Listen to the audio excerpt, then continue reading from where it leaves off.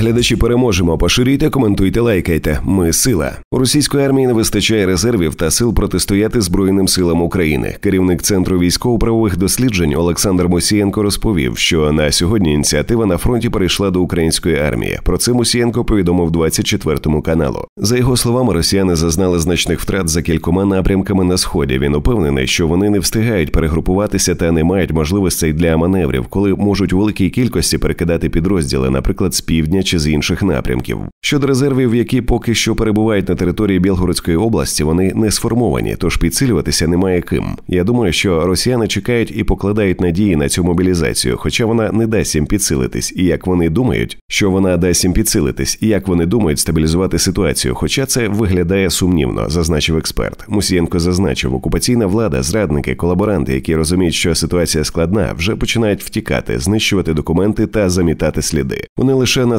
словах лише закликають іти гинути, воювати, продукують ненависть до України. А насправді ж вони, як правило, завжди в авангарді тих, хто тікає, додав він. Побачимо, де це буде нові рубежі оборони росіян, де їм вдасться це зробити, але вони не зможуть їх однаково утримувати. Плюс перейшла ініціатива до українських сил. І крім того, що перейшла ініціатива, ми бачимо, що ЗСУ проводять контрнаступальні дії. Підсумував Мусієнко. Тим часом українські бійці продовжують наступати у Херсонському напрямку, а російські окупанти нести втрати у військових госпіталях. Велика кількість поранених, брак медикаментів та проблеми з їх постачанням. Про це в ефірі Апостроф ТВ розповів перший заступник голови Херсонської обласної ради Юрій Соболевський. За його словами, повноцінно займатися лікуванням у лікарнях на Херсонщини немає можливості. Вдається лише стабілізувати стан російських поранених, а їх одразу відправляють до Криму. У той же час місцеві радіють тому, що чекають на деокупацію та звільнення. Там шалений тиск на місцеве населення. Продовжується намагання зомбувати наших людей. Шалена пропаганда. Інтеграційні процеси до РФ не припиняються. Останнє вони зробили анонс, що офіційно відкривають офіс єдиної Росії, розповів Соболевський. Він також підкреслив, що наразі в окупантів є дві позиції.